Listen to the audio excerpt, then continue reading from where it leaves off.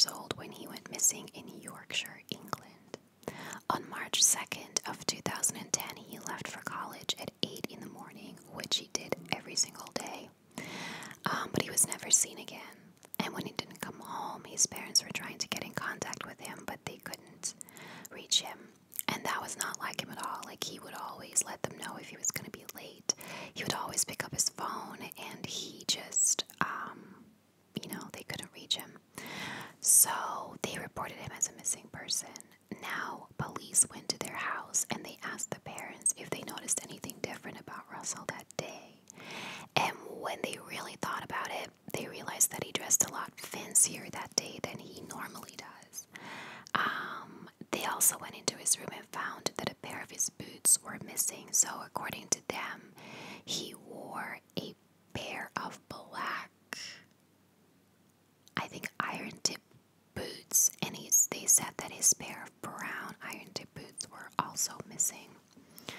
Um, so, for some reason, he took two pairs of shoes with him.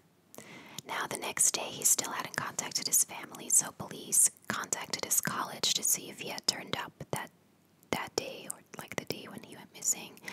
But at that time, the school didn't have a registry. Now, um, police could have asked his teachers, they could have asked his fellow classmates if he had shown up that day, but they never did. I don't know why. I don't know why they didn't investigate that further. Um, but they never asked anyone if they, if you know, if he had shown up that day. My guess is that he didn't because I imagine that some of his classmates would have come forward, like he's a missing person. If they had seen him that day, I, I think that they would have told police that voluntarily. So they were then called to an abandoned car which matched the description of Russell's car, but it was 45 mil- miles away from his home. It was parked in a coastal area named Bempton Cliffs, and it had been there since the morning that Russell left his house. The warden had seen it that morning, and it was still there at 5 p.m. When he looked through the window, he saw that the car had an all day parking pass, so it was allowed to be there. Um, but it was still there the next morning, so then he called police to basically get it towed because it was either abandoned or it was parked illegally since the parking pass had expired. Um, it was confirmed to be Russell's car, so he definitely didn't go to college that day. Um, so they started searching the area that his car was found in. Now there was an abandoned RAF bunker nearby. Uh, if you don't know, the RAF stands for the Royal Air Force. Um, now, the police thought he might be staying in it, but I find this a really confusing piece of information. So, um, they never went inside the RAF bunker. It was concrete and it was pretty much closed off. And we'll see later, and we'll see later in the case just how closed off it was. So the fact that they thought he might have been in it, but they didn't want to look inside it because they thought it would be too difficult for him to get in. I'm not sure. I don't know if this is conflicting reports or what, but they basically thought he, he would have been too difficult for him to get into the bunker on his own, and yet they thought he might have been in it. So I don't know. Um, regardless, they didn't search it inside. Um, they only searched it from the outside with some heat sensing equipment. Now, you know, if he was in there and he died the day before, then heat sensing equipment wouldn't have picked him up because his body would have been cold. If he wasn't in there but he had been, then maybe some of his belongings were still in there, and again, a heat sensor is useless. I don't, I don't think it's a bad idea to use a heat sensor, but to rely on only that when you're looking for a missing person, I don't think it's very useful. Um, his family was also very frustrated that police didn't search the bunker. They thought maybe some clues could be in there that were never found. However, police did do a very thorough search of the area outside the bunker, including air and water. Unfortunately, those cliffs are a very popular point to commit suicide from people jumping into the water. Um, and so, suicide was a big theory from the start. Um, now he has been missing. I'm just gonna put that out there now. He has been missing for eight years, and nothing of his has ever washed up. Not a piece of his body, not any of his belongings. So I don't know if you know if I really believe that that's what he did. Um, police went back to talk to Russell's family and asked him if they noticed any strange behavior from Russell. Now, they remember that he acted odd about three days before his disappearance. He left that morning and stayed away until really late in the evening, and when he came home, he didn't tell anyone where he had been. Um, his family didn't want to push him on it, like they kind of wanted to respect his privacy. He was 18, you know, he was an adult, but he didn't want to talk about that day with it, like at all. Um, police checked his debit card for charges he made that day, and they were at three different places in the Yorkshire area. One of them being that coastal area where his car was found days later. So, police checked his debit card activity on the day of his disappearance, but it wasn't used that day at all or ever since. Um, which does make people believe that he is dead because, uh, like, if he ran away, where was he going to get money from if he didn't use his debit card at all? So, police went back to his parents' house to get all the electronic devices like phones, laptops, etc., to see if they could find any clue uh, as to where he might be in his online activity. Incidentally, on Russell's father's laptop, they found 415 indecent photos of children, uh, which were sent to him by another unnamed family member. Uh, he was put on the sex offenders registry, but he faced no criminal charges for the possession of those photos. Um, I don't think this is related to the case. They never like linked it to the case, but I just thought that was interesting. I don't know if Russell knew about his father. Um, I I would think not, but you never know. So, um, police found on Russell's laptop that at 7:30 the morning he went missing, he had searched on the RAF Bempton website, which leads us back to that bunker. Um,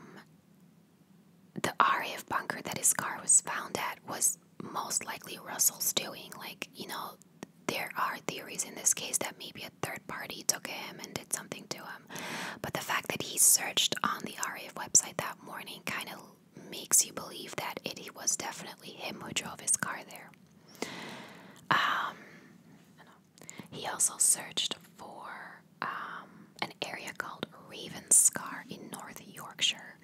Now, the Bohling family have a holiday home in Ravenscar, so of course, immediately they thought, oh, great, well, he searched for that area, he must be hiding there. So they went to the family home to look for him there, but they couldn't find him or any evidence that he had been there.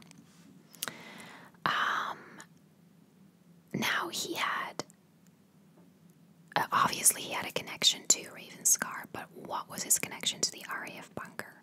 So police went back to his parents to ask them that, and they admitted that he had a fascination with this bunker for a long time. In the 1970s, a satanic cult moved into this bunker and used it as their headquarters. And they put up all special kinds of artwork on the walls. And Russell had been had always been fascinated by what people told him about the bunker. He even looked up the artwork online and saved it all on a USB stick. Um, and it is a big theory in this case. Now, the USB has also gone missing with Russell, it was never found. I want to point out that the artwork on these walls was like it was primarily pornographic. It wasn't I'm not gonna say that it wasn't like satanic. I don't really know um, what they consider to be satanic artwork, but it was just a lot of like artwork of naked people uh, doing it. So, um, being um, a young kid chance that he wasn't actually interested in the cult for the satanic reasons, that he was more interested in the artwork because, you know, it was basically pictures of naked people. But I I don't want to say that as a fact. Okay, that's just a possibility. I don't know Russell. I don't know what kind of person he was, and I don't want to assume anything about him either. Um, so, three years later, then police finally decided to open the bunker and search it. Now, the to pay the cost of opening up the bunker. So that again makes me think that Russell couldn't have gone in there himself because they had to like make a big effort and like pay people to actually open it up. So, um, I don't think it's likely that he was ever in there. Now, they didn't even properly search it either. They sent in trainee firefighters for an exercise. Now, not saying that they couldn't have done a good job, but they basically asked firefighters to search the bunker as a training exercise for them. Um, and this is a real life, essentially still a kid that went missing. So to use his case as a training exercise, I find it a little bit um, disrespectful. Now, nothing was found, um, nothing that tied Russell to that. So I'll get into some theories. The most widely believed theory, and the one that police also believes, is that Russell committed suicide because his debit cards haven't been used since he went missing, and also none of his social media accounts have been used since his phone wasn't used. Um, he hasn't been in contact with anyone since he went missing. Um, now, his parents believed that he only had 10 pounds on him that when he left that morning. So he couldn't have gotten, very far with that. And again, the fact that his debit cards haven't been used, it begs the question where he would get money if he in fact did run away. Um, now, police, when going through his things, found a home video where Russell was imitating committing suicide when he was 15 years old. Now, apparently, this tape looked very um, serious. He wasn't making fun of it, he wasn't turning it into a joke. Um, he was really honest about it, and his parents said that he did go through depression at that time, but this was three years later. He was very happy now. Um, but you know, you never know if maybe maybe the depression did come back, or he just got really good at hiding it all these years. Um, since the Bempton Cliffs were a very popular spot to commit suicide, and that's where they found his car, they firmly believe this. Now, the second theory is that he ran away. Um, you know, for a lot of the previous reasons I stated, you know, his debit card hasn't been used, he hasn't uh, contacted anyone on social media, he only had 10 pounds on him that day, you could say, well, that's not possible. However, um, Russell's family say that they know for sure he only had 10 pounds on him that day. But how do they know that? I mean, if Russell was planning to run away, he could have been saving secretly for years. He could have had a job no one knew about that he was making money with, or like if they if they know he only had 10 pounds on him that day, my guess is that they gave him that, that they gave him some kind of pocket money every week. He could have been saving that for years every week and not actually spending it. You don't know that. Um, you know, maybe he his depression did come back and he just wanted to run away from his life. Now his parents are sure of the pair of boots that he was wearing the day he went missing, and two years later, when his parents went to their Ravenscar holiday home to stay, they found his boots there. So they think that he stayed in there for a while, you know, presumably um, after he knew, like, he obviously, if he did run away, he would know that police would search the holiday home. So he presumably waited a few days or even a few weeks until he knew that had happened and then went to stay there for a while. Um, but it is also very possible that his parents are wrong about the boots he was wearing that day and they had been in the holiday home all this time. I want to point out as well that a few years later, a few years after he went missing, two feet were recovered from the river or washed up from, uh, not a river, but washed up from the body of water where he um, might have jumped into. And they were found in a pair of brown steel toe boots, which is, according to his parents, the second pair of boots missing from his room. Now, they did DNA testing and turned out that it wasn't his, but since police haven't been doing a very good investigation in this case, it begs the question whether they really investigated them properly. Um, it is odd that it was found in the same pair of boots that were missing from his room. And again, it's possible that those were the ones he was actually wearing that day, and his parents were wrong about the other pair. But if they were right, then, you know, there's a good case to be made for him running away. Now, a third party, uh, the, the third theory is that a third party might have been involved, that either someone killed him, kidnapped him, or even that someone is giving him money and able to be able to run away. Um, his have even said that they think someone might be giving him money. Um, now, his family said that he was a very happy kid, that he had so many plans for the future. He was really excited because his father had just agreed to give him a 300,000 pound loan to start up his own business. I don't know what that business was. Um, but he wouldn't just walk away from all of that. And and why would he drive up to Bempton Cliffs and pay for a full day of parking only to jump off? And this is a piece that I find very weird as well. So, um, for as far as I understand it, you can either pay for a day parking pass or you can pay per hour. If all you plan to do is jump off a cliff, but you don't want people to get suspicious too quickly because your car is parked illegally, then pay for two or three hours.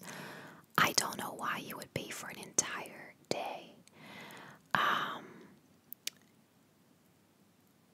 now, because if another person paid for a full day parking, that would give him 24 hours to do something to hide Russell somewhere, whether with bad intentions or to help him, because no one would uh, report that car being there since he was allowed to be there basically for 24 hours.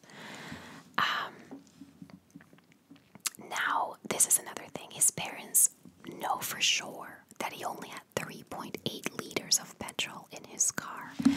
I find it so strange. They knew for sure he only had 10 pounds on him. They knew for sure he only had 3.8 liters of petrol in his car. That's a very specific number. If you drove the car and you saw that the petrol was very low, you could say, like, oh, he had maybe four or five liters left. But no, they specifically know he had 3.8 liters left, which I find so bizarre. But they are absolutely certain of this.